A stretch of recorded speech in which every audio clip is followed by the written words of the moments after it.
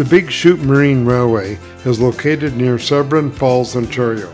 It's part of the Trent Severn Waterway, and it's the only marine railway of its kind in North America. This is the original chute and waterway between the lower and upper Severn River, and this is why the marine railway had to be built to transfer boats.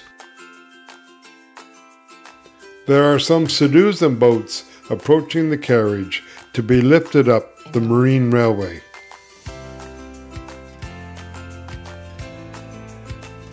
Boats are carefully directed into the carriage and secured by staff.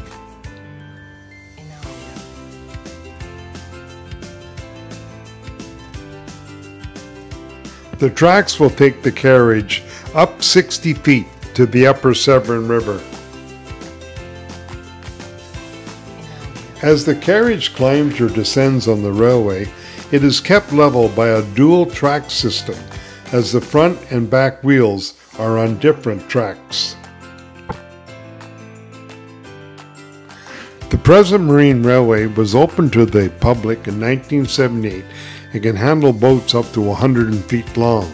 Across the bridge is the previous Marine Railway, which opened in 1917 and was used up until 2003.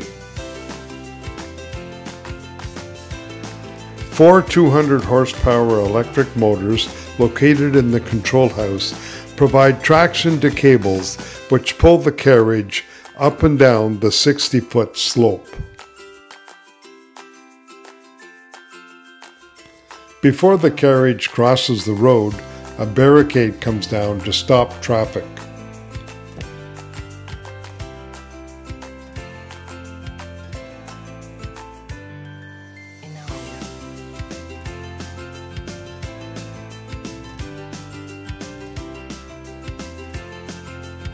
After crossing the road, the carriage descends slowly into the Severn River.